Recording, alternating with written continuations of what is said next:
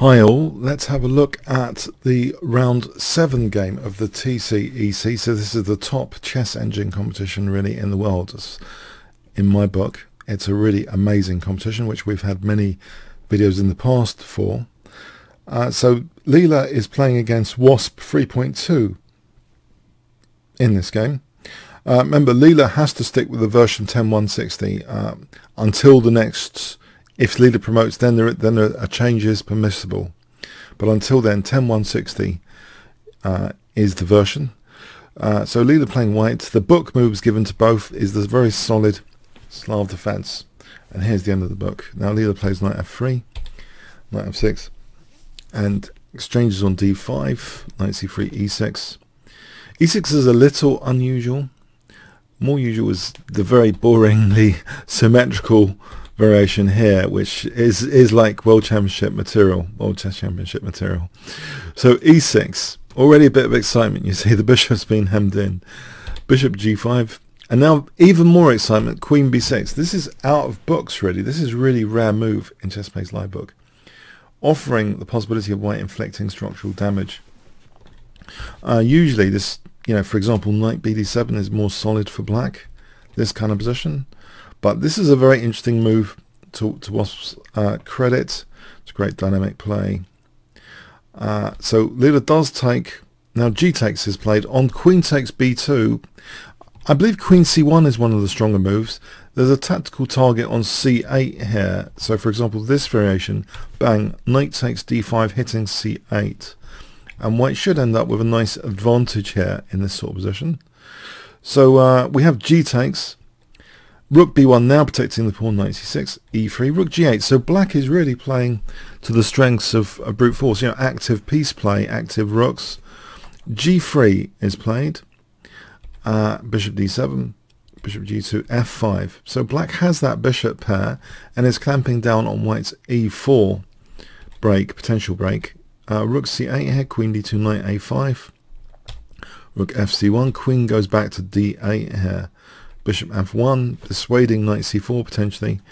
We have f6. On knight c4, possibly white can take here, and this position, the two knights against the two bishops, might actually be, might actually be quite nice for white. Uh, we have actually, though, f6, keeping any knights out of e5, and maybe the king can use f7 here. Now, in fact, does use f7. Leela is maneuvering around the f4 square, knowing that e5 is going to be difficult to play. So that f4 square is a nice blockade square in front of the double pawns, and both knights head to reinforce f4. An exchange of rooks here, and now using that blockade square, Nimzovich's favourite place in front of double pawns, hitting the queen, queen moves, queen h5. Uh, we have here now knight d2. The knight maneuvers to e4 uh, so now queen h4 and there might be a concern about knight e5 exploiting the pin. Knight g5 addresses that in advance. For example, a6, knight e5 might be interesting to consider. Here takes is, is very nice for white. Uh, so this position, uh, rook c8, say this position um, is getting a little bit interesting for white potentially because actually things like bishop takes a6, a technicality but important one. There's a bit of pressure anyway. But uh, knight g5 extinguishes any any pin. Uh, king g2, rook c8. Another pair of rooks come off. Check. And here knight goes back. Bishop d1 covers covers uh, the knight and bishop cover the entry points of the queen here. On queen c4, I believe bishop b3 is possible. The knights are holding each other. So uh, we have bishop d1 and at h3, king g1, and some maneuvering here, some patient maneuvering. But now an interesting decision to undouble black's pawns. Sometimes when you undouble the opponent's pawns, you create more readily exploitable weaknesses. Uh, so that might be the case here. e6 is exposed now uh, a bit more, but queen c2 keeps white's pieces at bay, hitting d3. Queen g3 king h8 now uh, here actually, yeah, there's a threat of h4. So for example, this h4, black's got to be careful about bishop d1 check, for example. Uh, so king h8 is sufficient, knight h5. And there might be a concern now, the knight's covering an escape square of the king. There might be concern about queen b8 check here. So the queen goes back to the defend the first rank. Um, in particular, here, although there's queen c8, by the way, there's queen a7. And this is slightly annoying uh, for black. Uh, it's it's a bit tricky, this position. Yeah. Uh, so it was kind of rejected. Th this this is uh, in my notes. So we have queen c8. It's not because it was like terminal. Queen c8, uh, bishop d1, queen f8, queen c7, queen d8, queen a7. Like the queen is a little bit in trouble on a7 for, potentially. We have seen knight d6 here. Uh, on, uh, I'll give you uh, white might be threatening knight f4. If b5, for example, knight hf4 hitting e6 might be a little unpleasant here for black. Uh, for example, yeah, this is a big advantage for white. So we have knight d6, which changes the picture here. Now, this knight was used, not this one. If this one's used here, knight b5 is very interesting because after uh, hitting the queen and after, say, queen b7, this is like repetition. And if ever white tries to break the repetition, here then there's queen b8 with the knight a tactical liability. So for example here, there's bishop b5, also just trapping the queen. The queen even hasn't got c8. So nasty trap possibility exists there. So we have this knight being used, not this one. Uh, now knight b5, knight d6. Uh, now, f5 is played. Defending e6, bishop f3, queen b8. Uh, so black is still very solid, though, uh, in this position. And uh, here, a simplification. Now, Leela's with the two knights against the bishop pair. Uh, we have this, bishop h4, the king goes to h2. Now, taking on f2, you might think we should at least look at it. Queen e2, for example, here is a disaster threatening mate and the bishop. Uh, but tactically, black could play bishop e8, uh, hitting h5, and that knight's pinned. Now this position here uh, should be um, okay for white. So yeah, that wasn't very tempting for black to sort of take that pawn. So instead, queen d8 we have king g2 protecting the pawn officially now. Queen b8. Queen comes back. So there might be a concern here about queen g4 hitting h4 and threatening mate. That's addressed in advance with queen f8. Queen pops back over the queen side. Check. Knight comes back. Queen b8 queen e2, bishop f6 is played. Black doesn't really want to give up the bishop pair. Anytime that happens, white's got a really nice position here. This is a really kind of bad bishop. So black must try and keep for the moment the bishop pair. Queen d1, queen g8, b3, dissolving a bit of the queen side, but uh, let's see, queen e2, bishop g5, queen a6, queen b8 is played here. Yeah, the temptation of double pawns is not enough to lose the bishop here. Um, queen a3, and now we have this check. King h1, bishop h4, queen b2, king e7, knight g2 hitting the bishop, bishop moves. Check, king e8. This bit of maneuvering here is going on. Uh, interesting point here, queen a1, queen c2, very interesting point with king g2 offering b3. So you might wonder, this is a mystery, murder mystery on move 71.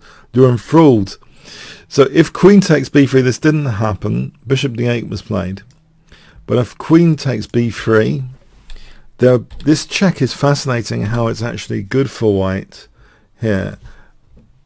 Let's you know look at king e7 first. There's queen g8 for example here, this position where black loses the bishop pair is very nice for white, big advantage. And also on bishop d8 as an alternative, then this position, fascinatingly, the knights are doing a good job against the bishop pair with the king there. Uh, for example, here there's a tactical knight f6. Uh, and here, for example, knight g8 check. And the key move here would be queen b8 to go to e5. So this gets really quite dangerous uh, for black. So this continuation, check, queen e5, and now there's a big threat of taking on d5.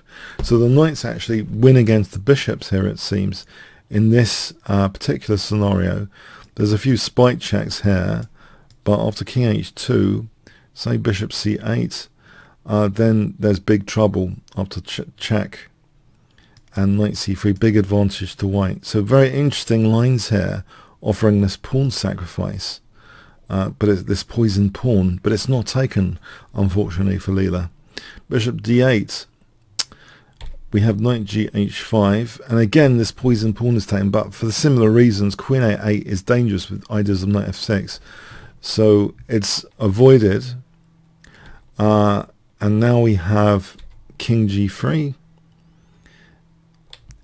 bishop c7, pinning the f4 knight, queen a7, queen c1, king goes back, bishop b5, knight goes back, uh, h6, h4, queen c6, h5, queen d7. With the idea of bishop takes f4 now, which will get rid of the queens, and that might actually be good for black. So knight g6 avoids that.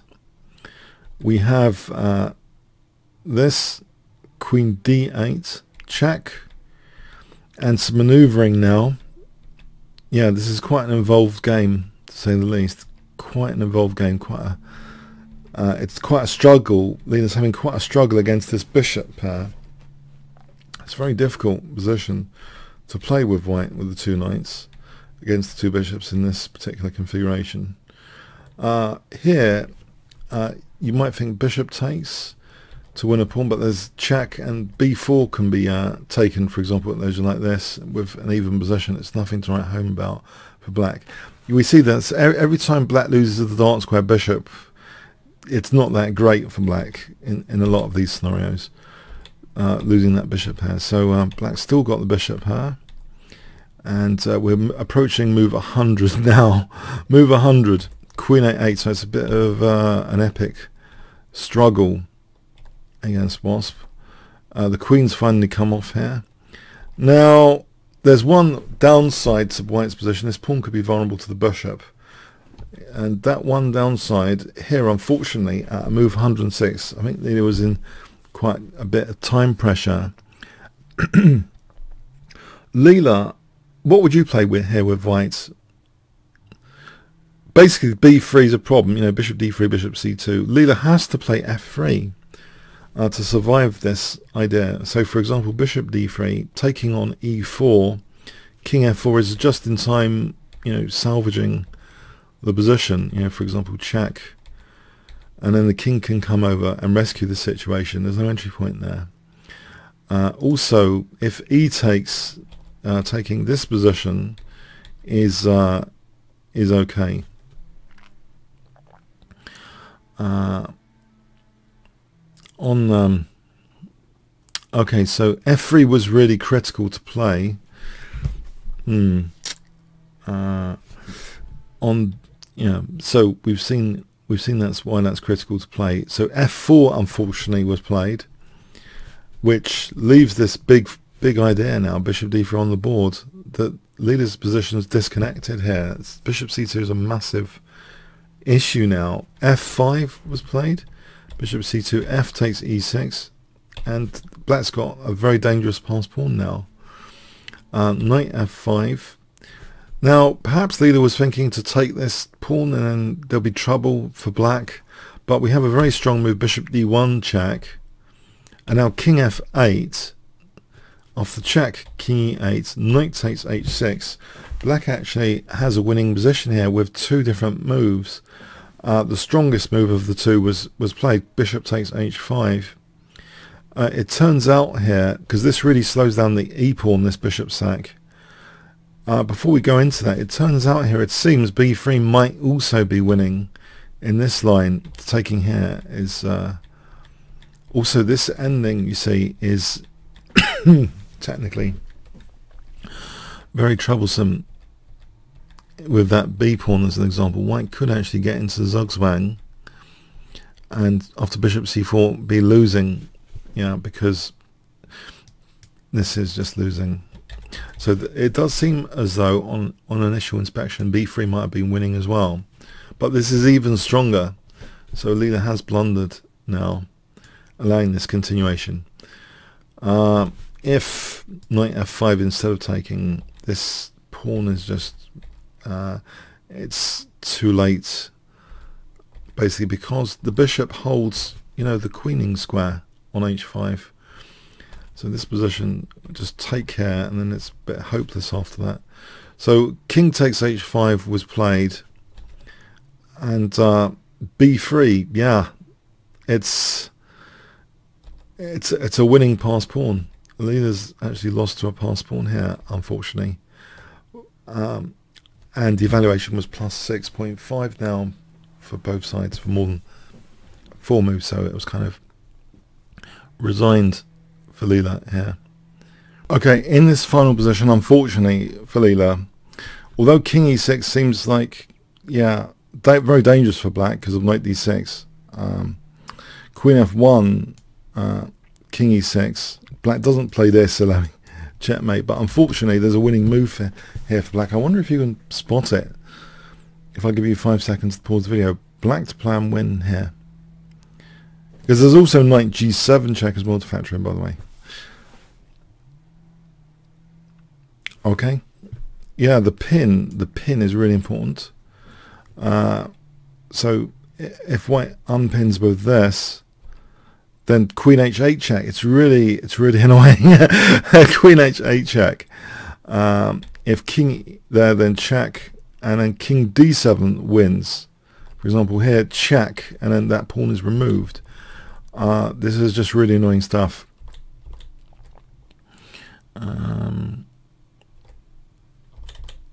and by the way, knight g7 check, black would sacrifice the queen to actually have a winning king and pawn ending with the opposition carried through here to win that pawn, then get a winning pawn here, and then the opposition again, making the pawn crash through. So unfortunately, uh, yeah, queen h3 is really powerful here. Uh, that's absolutely winning. Uh, on, um, yeah, so king f6. Uh, we've looked at king f6. So here we just take on f5. Wasp just takes on f5. So it's, it's pretty hopeless here. Um, I think there's nothing much to say here after queen h3. King f6 king d6, king takes, just taking on f5. So, yep, wasn't played out. Uh, so, a bit sad for Leela fans like me and everyone supporting the Leela project. This happened, but that's what happens. It's a tough tournament. It was, it was always going to be a tough tournament. So, I'm I'm actually really happy about Leela's overall score. It's the only loss so far in the tournament, something to learn from in, in time pressure sometimes. Okay, a tactical slip up there in this game.